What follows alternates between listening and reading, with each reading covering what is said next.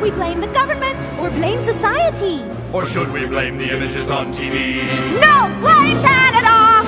Blame Canada! With all their beady little eyes and flapping heads so full of lies. Blame Canada! Blame Canada! We need to form a full assault. It's haters' fault! Don't blame me for my son Stan. He saw the darn cartoon and Eric once had my picture on his shelf, but now when I see him, it tells me to fuck myself. Well, blame Canada! Blame Canada! It seems that everything's gone wrong since Canada came along. Blame Canada! Blame Canada! They're not even a real country anyway.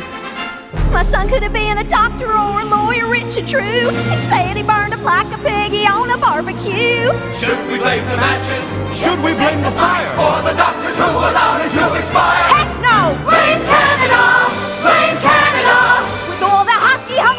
and that bitch Anne Murray too.